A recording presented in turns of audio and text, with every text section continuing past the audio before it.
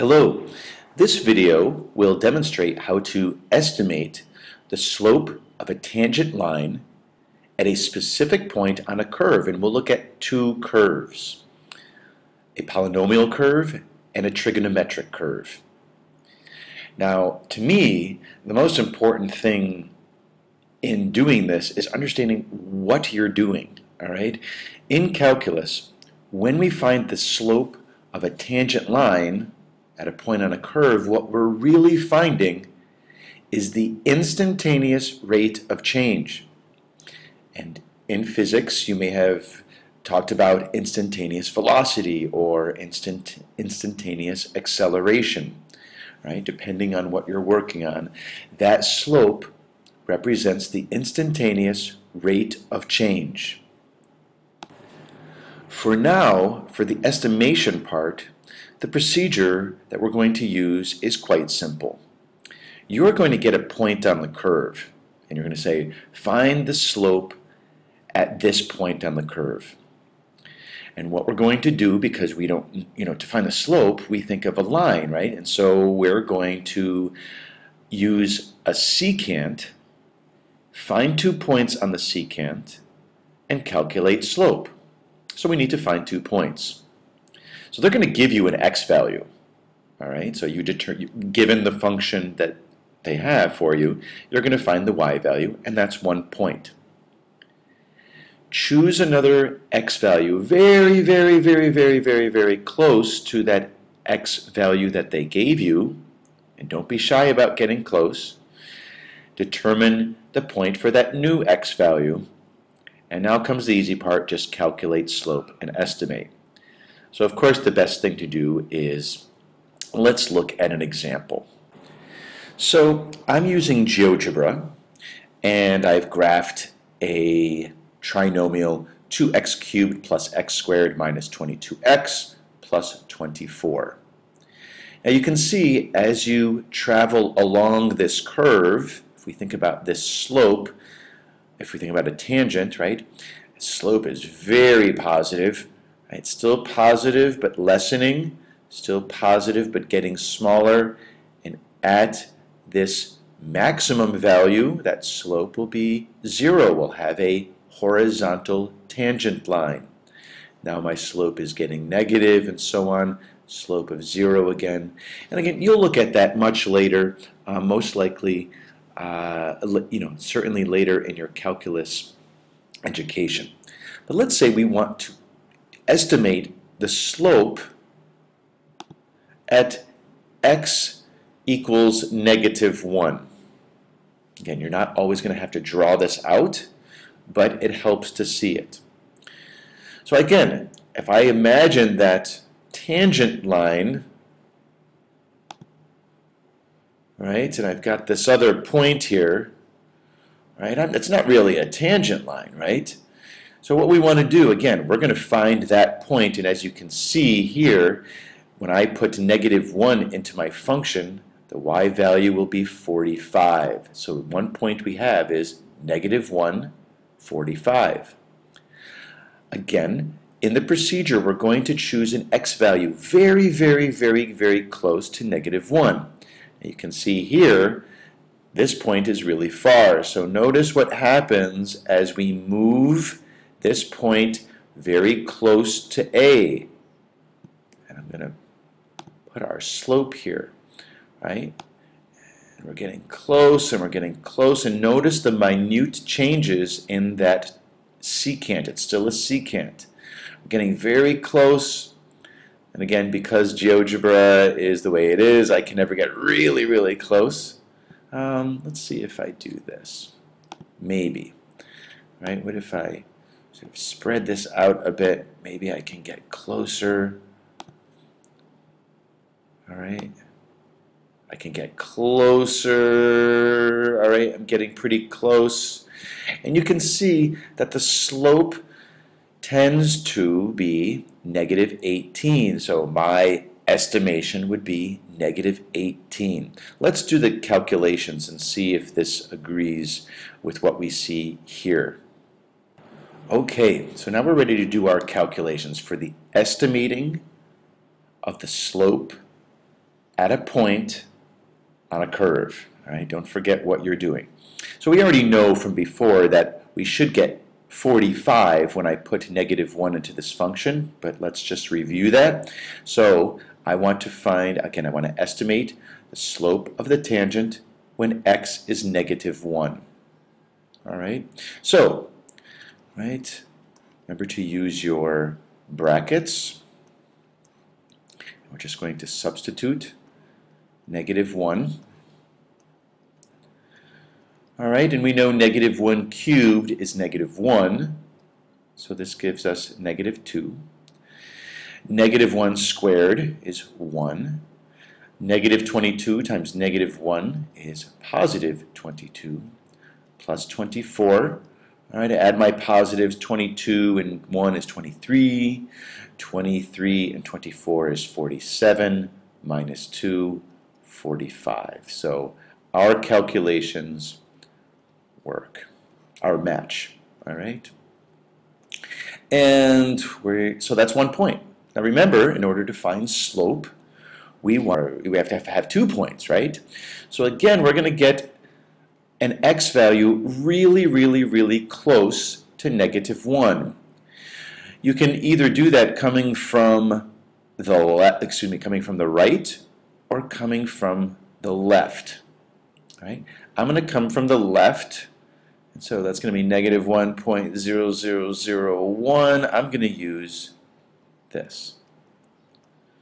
All right. Okay. Now, let's see what happens when we put this into our function as our input. Now again, because you have a calculator, there is no reason that you should be rounding.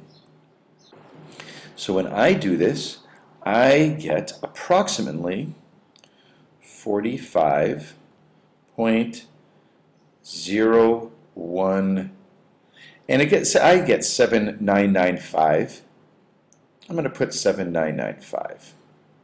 Okay? So my other point is this. Now, a quick check. Let's say, for instance, you were, instead of putting negative 1.001, you put positive, right? And, you know, a simple mistake, no problem.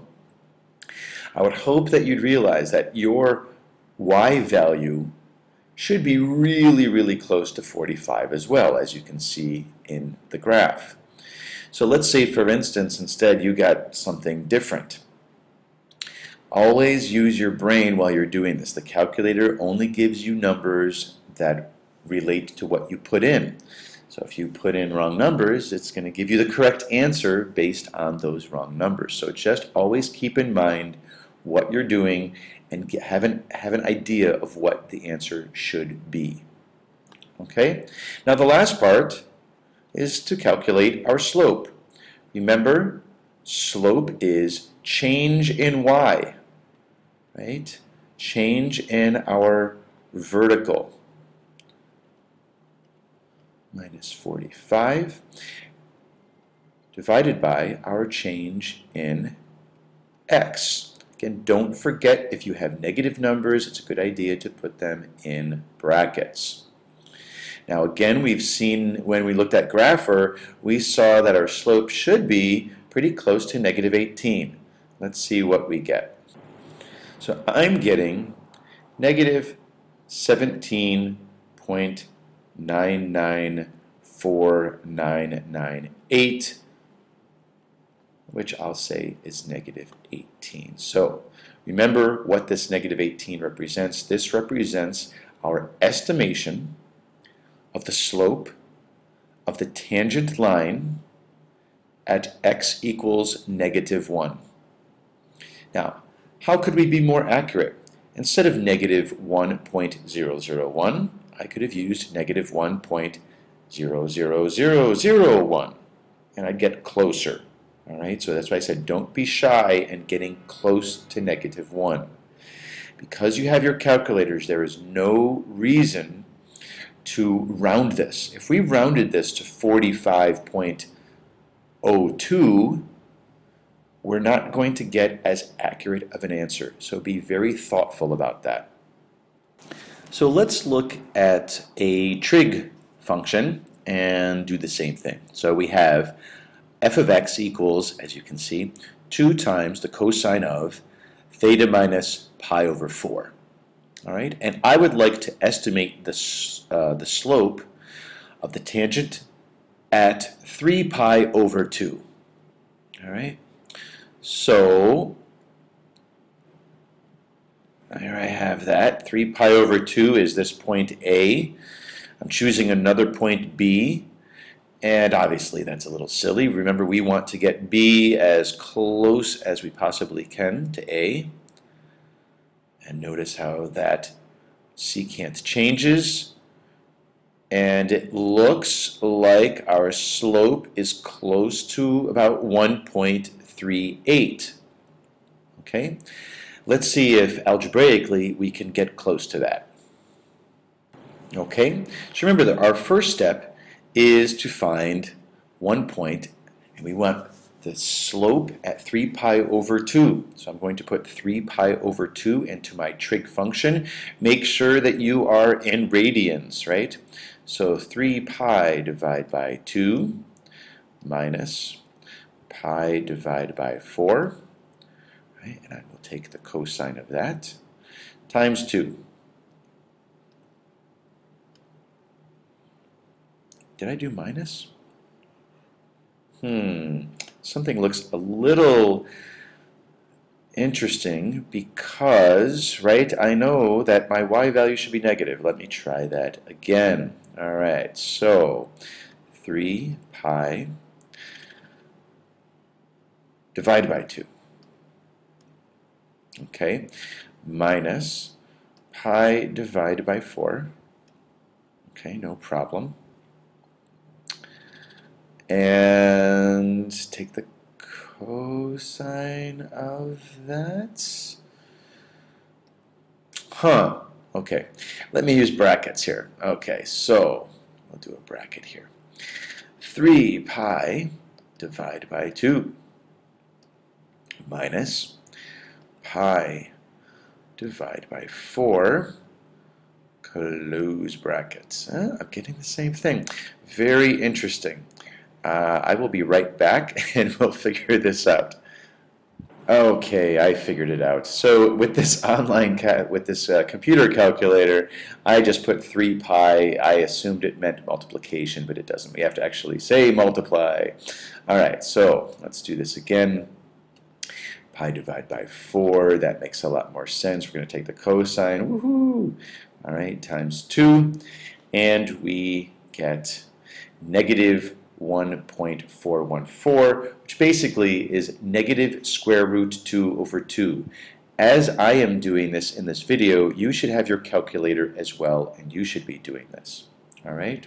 So, y is this. No problem. Now remember, we want to get a point very, very close to this. 3 pi over 2, again now I know, 3 times pi divided by 2 is 4.712. So what I'm going to do is I'm going to choose a point, let's say 4.72. Okay? Okay? So I've gone ahead and done the calculations um, correction, um, when we do put 3 pi over 2 into this function, we get uh, negative square root 2. Okay, how did I get 4.72? Again, 3 pi over 2 is approximately 4.712, blah, blah, blah. So 4.7, sorry, 4.712. So 4.72, again, if it helps, to put the zero here if you need to, I would hope that you would say that this, they are very close. Plugging this new x into our function, I get this new y. Again, don't round too early. Calculate your slope using the slope formula, change in y over change x. And I find that an estimate of this slope is about 1.42. Hope that helps. Thanks for watching.